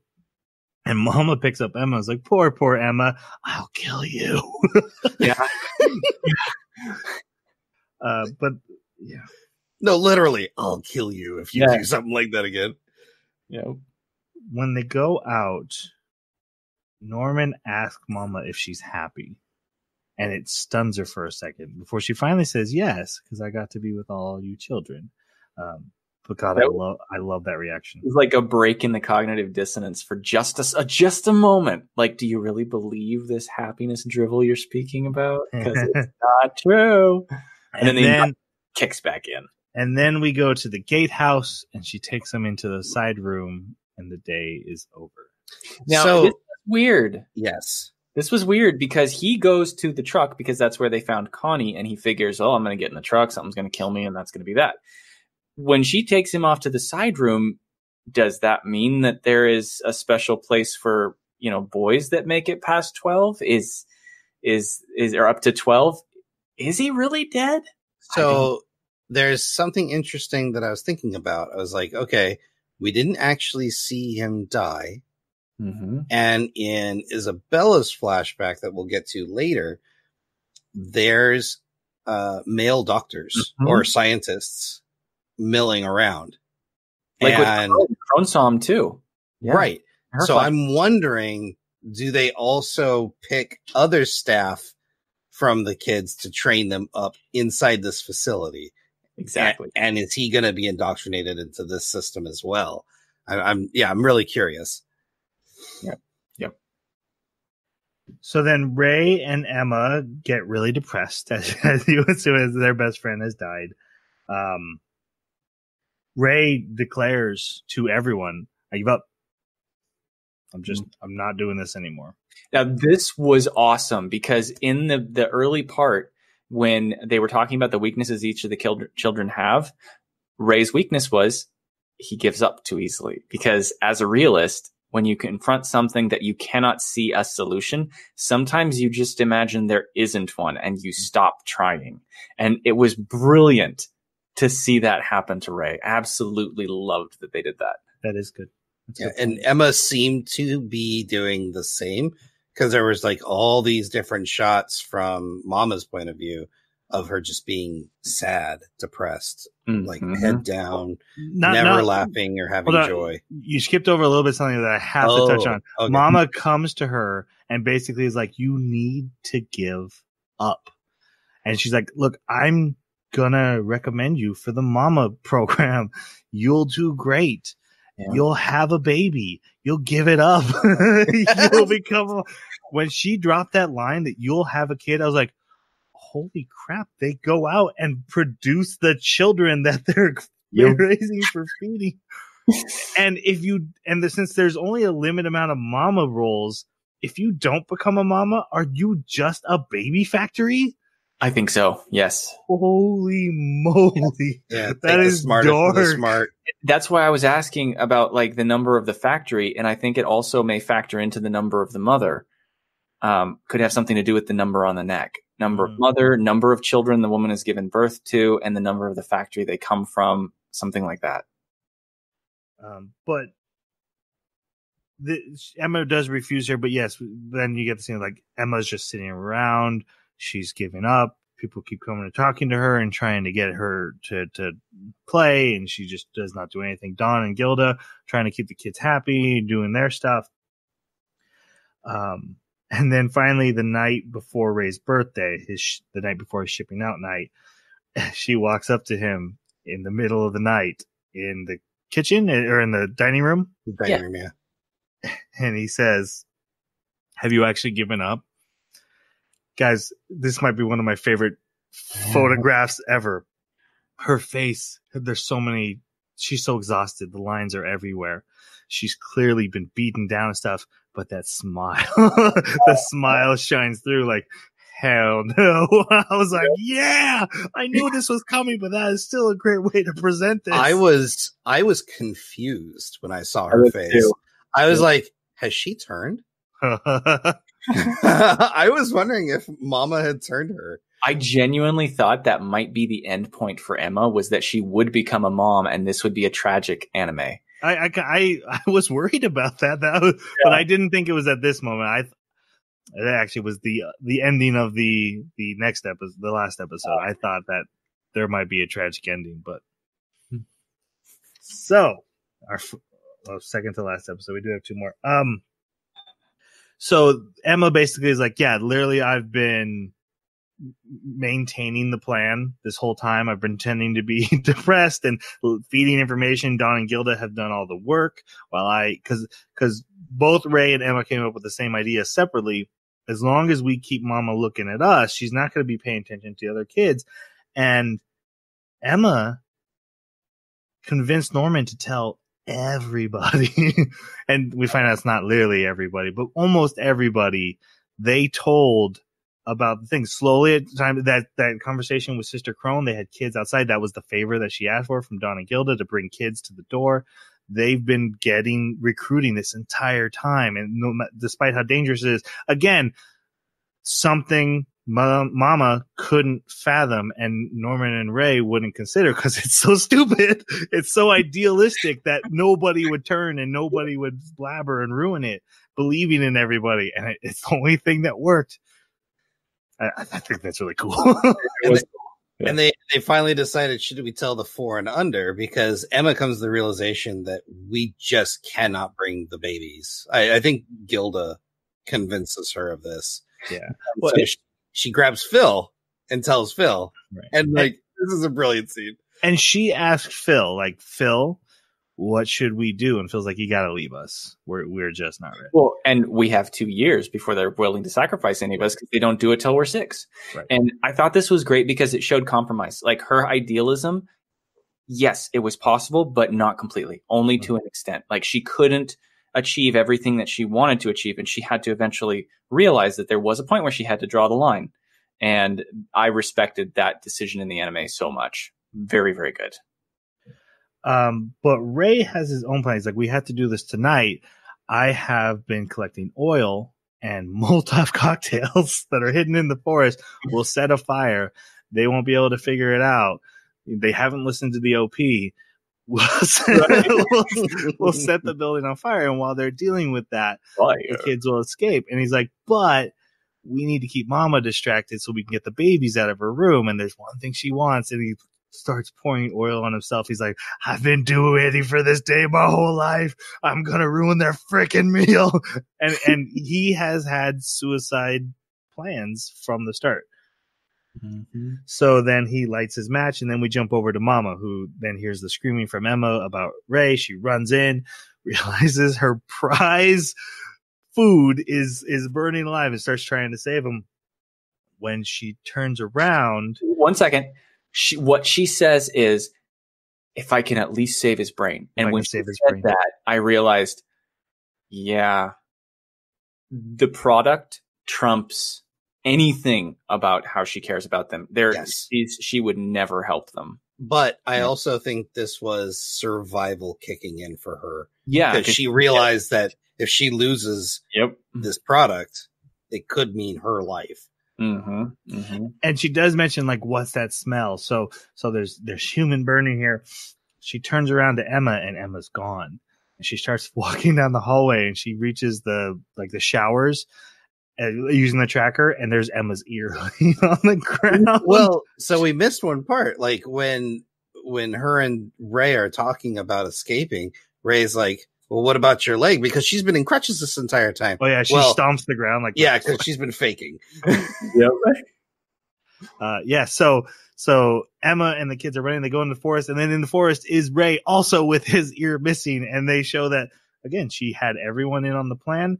They and Norman knew Ray was going to do this, and had told Emma like, "You have to stop him. This he's going to do it this night. He's going to do it. You know, this is his plan." So she did stop him. She caught the match before it hit it. They made up like a fake body full of meat and hair that they cut off of the the girls' Well, and um, like she had the other kids that she had told, they brought in all that stuff. So like, yeah, yeah this was so well thought out. Yeah.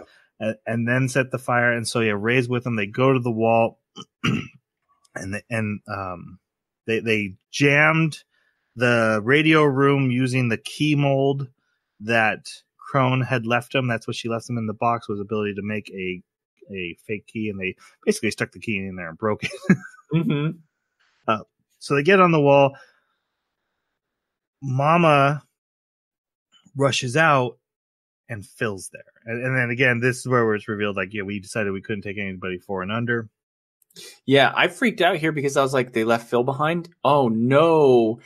And I know that's exactly what they wanted you to do. Be Yes. like, "Oh, they forgot one because I think it ends with Ray going, "Is everybody here?" And then Phil walks up to mom, and you're like, "Crap!" Yeah, that's Yeah, what I thought too. and I, I thought for sure, like, okay, then that, that's where the tragedy is going to come in. They're going, someone's going to have to go back for Phil, and they're going to get stuck, and they're going to get stuck in this world while everyone else gets to escape.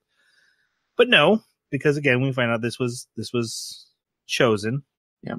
She does. Mama does have a portable radio, so she does flag the demon security. They go into high alert. They're like, literally, just kill all the kids, save the smart ones.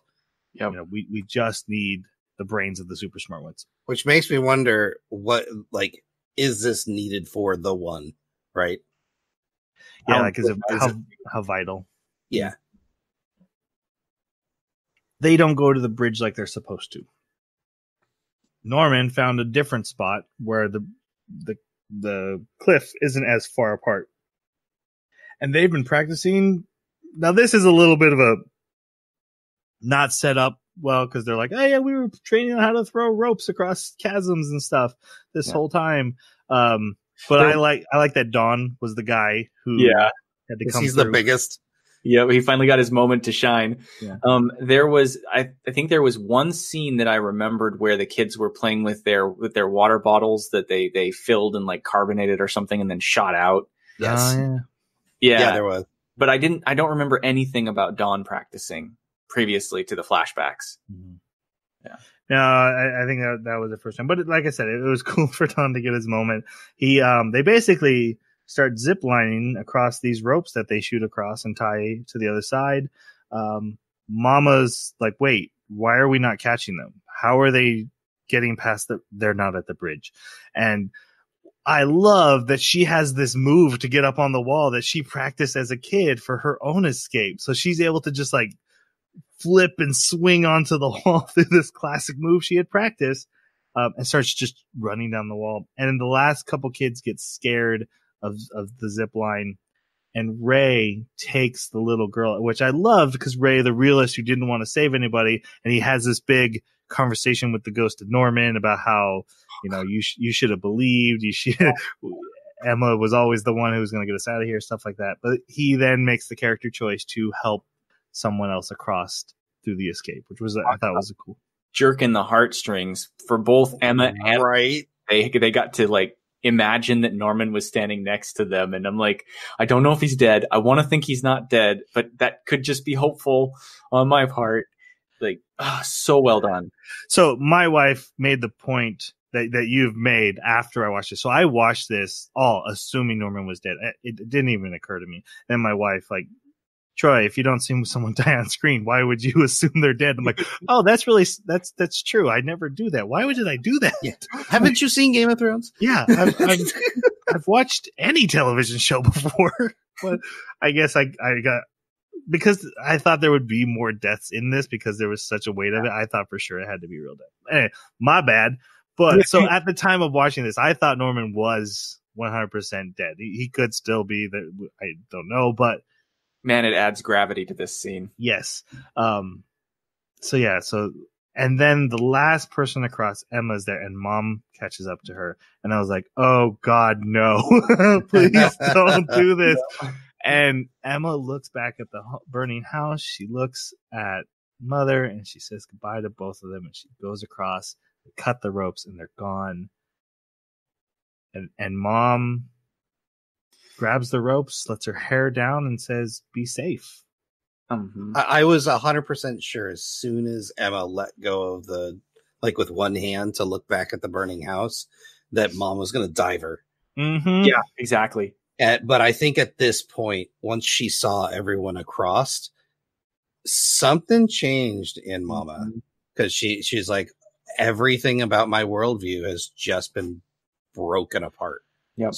So this is where I think the theme of the anime really comes rushing in because because I've been talking about how there's there's all these levels of controls and levels of control, and I think this is saying that if you subject yourself, let yourself turn over to the control, then you become a part of the control. And with mom, that is literal. Like she literally was keeping them there. But even just saying like, if you allow evil to go on, you are now part of that, um, and, and, stuff like that. And I, I don't mean that with any ideology behind it at all, but I just think that's the general theme of this. And with these kids escape, with that hair coming down, I think a part of Isabella is now free as well. I don't think she's now the team player she was. It reminds me of the bad guy at the end of Serenity. If anyone remembers that movie, it's one of my favorites. When the when the bad guy survives and he's like, "Isn't the government going to come after you?" He's like, "No, but I think they know they know I'm not their guy anymore." Um, and he just kind of fades away into whatever life he has left. That reminded me a lot of this. Mm. Um, I think that this whole scene got a huge amount of gravity because we got a lot of Isabel's flashbacks too, yes. and about the story. Because in the first episode, when she's walking Connie to the uh, to the gate, she's humming a song, and Connie says, "You know what? What's that song? That's a pretty song." And she just kind of grins and doesn't say anything, right? And um, a little bit of derangement there. And um, but there's another scene where I heard, and I think it was I think it was when Ray was standing in there about to burn himself, he was humming the song. And I wondered why Ray would hum that song. It seemed strange to me. I don't remember Ray humming. I know Mom hummed it a couple times throughout the anime. It, yeah. it was her big song. I'm pretty sure he hummed it when he was about to burn himself because I remember noting that there was some point where Ray was humming it and I was like, this is really weird. And then in the flashback, it shows that she was interested in this fellow boy that was at the orphanage she was growing up in, and that's his song that he made. And then it shows her entire process she goes through, and it shows her getting pregnant, and it shows her becoming a mom, being assigned over here, not being pregnant anymore, and and then it shows Ray sitting. Um, she yeah, it shows her a really young one, a really young Ray, and it shows yeah. her looking at her tracker that somebody is near the wall. And so she runs over to the wall, like, what's going on? And she's also, maybe that's not what it was. I remember her humming the song. No, she wasn't humming. He was humming. That's what it was. She hears the song and is like, oh my God, who's humming my yeah. song that only I know? Exactly. That's what it was. And, and I know that wasn't the time I'm thinking of because he was an adult when he was humming it, what I remember. But you realize at that point, oh crap, Ray's her, her biological, son, her, her biological, biological son. And he, and he turns and he says, mom, why did you give birth to me? And she just freaks for a moment and then she stops, regains her indoctrination and says, it was for survival. And this, this whole time, like I'd been wondering, you know, this silly infantile amnesia thing is just kind of stupid. I really hated it at first, it, but this scene sold it for me. And I was like, yeah. okay, okay, you just, you just made something really beautiful here. Uh, so yeah, this that was great. So so good. Um, then, then Mama comes back to the other little kids, helps them get into their blankets. They lay down in the field, you know, waiting for whatever's next. And she looks at Phil and says, "Don't worry, they got out okay," which sounds like it could be referencing getting away from the fire, but she clearly is telling Ray they're okay. And, oh, by the way, I totally know you know. yes, exactly. Yep. Um, and the older kids run out into the woods, uh, free, and morning breaks, mm-hmm. and that's the end of this anime. Before we go to final reviews, though, we have a that topic. Guys, season two, yes or no? Do we want it? Do uh, we not? Who wants yeah. to go first? Yes, yes, I want it. I want it really bad. Okay, why? Yeah. Okay. I think the reason why is because, like you said, there are so many strings that they that they touched on. And granted, I can see the the power of this enigma to build this world where you don't have to expound on it. You can leave it there, and it, it, you know, in our imaginations, we're going to build something probably better than even just the vagueness of it can be more satisfying than having a concrete answer to some of these questions. But at the same time, this anime and the writer has shown writer writers i don't know i should know but i don't um, has shown the capability to present really great scenarios and situations with these characters. And i would like to see what happened to norman. Is he truly dead? Who wrote this book? Where did it come from? What's the society outside of this really like? Is there a, a parallel societies of humans and demons and some kind of resistance um, how do these kids try to climatize? How do they come back and rescue these, you know, fulfill their promise? How did this change mom? What's grandma's plan? Like there's so many different factors here that I genuinely want to see. I think it would be a completely different theme, different flavor, different genre, perhaps of, of anime for that season. But, uh, yeah, I definitely want more. I do but I'm I'm hesitant because this anime would be really easy to ruin with a second season. Like really, really easy. There's some really big missteps that would be really easy to take uh, that could ruin what's been told here. And it, it almost feels like this particular season could be left alone. Like if nothing else was ever made about it, yeah, there I would love to see more, but I would be satisfied with what we have. I think what would probably be best is I, I think it would be a mistake to create a s- second season like that started off with them in the like in the woods, like from 12 to 13, like not skipping a beat. I think that would be a mistake to tell that story of them like going through the woods and discovering. I think it would be much more interesting if it was like seven years later and they're in a resistance group. And because that would put Emma somewhere around 19, 20, 21. But that would also put Phil at 11. Mm. And complexity because some of those kids would have been sacrificed. Right. But there's still a bunch that, you know, could, could be saved. And this is their attempt to like resistance. Because it almost feels like this world's similar to XCOM 2 where the aliens have like subjugated the earth but people still live semi-normal lives in some areas. Uh-huh. uh and there's a resistance. I i kind of it would be neat to see it from the resistance side i guess. I never um, imagined that but now you got me thinking it is XCOM 2 um I, I think you could make a season two work where it's just the kids like in the woods. Uh, but I could see a, see it being, uh, like I said, some missteps along the way that could, uh, kind of taint the story for me. So my answer is I didn't. I didn't, I d- didn't want another season. And for mostly the reason of Attack on Titan like, look what, and I know you guys don't actually probably know what happened on Attack on Titan, but the answer of Attack on Titan got explained, and it's super disappointing. Mm. It, it is nowhere near as satisfying as it could be. I don't want to know where One Punch's Man's power comes from. I don't want to know that the Force comes from midichlorians. Sometimes the explanation ruins the thing, and there are a ton of storylines. But I'm okay with just being like, "There's this really cool world out here." But that wasn't what was important. What was important was these kids experiencing this experience, and I can just let my imagination create the rest. There has been a change though, and that is when my wife yelled at me and said, "Why would you believe a character died that you didn't see die on screen?" oh my god! If Norman's alive, I need to know what happened. What, what what did he see in that room that made his eyes go so wide? Because he didn't just walk in and see another one of the demons. He was stunned when he mm-hmm. walks into that side room. What did that mean? What could it mean? I'd be in for a season two just for that reason, but I would be completely okay if season two didn't answer 90% of the questions this anime set up. That's why I'm saying if it's like six or seven years later, they come back, they actually breach, like they're able to sneak in, right? And they come across Norman and like there's this loving embrace, like, you know, reunion.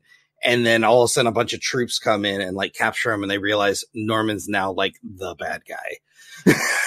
so what I would be interested in is both to see, yeah, Nor- what happens to Norman? What does become good? Does become evil? What is it like when he's out in that world? And then also come back to Mama now that you know, is she still on that demon side? Maybe the reason none of the kids have been sacrificed because they're all getting such amazing test scores. Everyone's like, this is the best crop we've ever had because Mhm. Mama and Phil are like Grooming. pumping, yeah, grooming them to survive.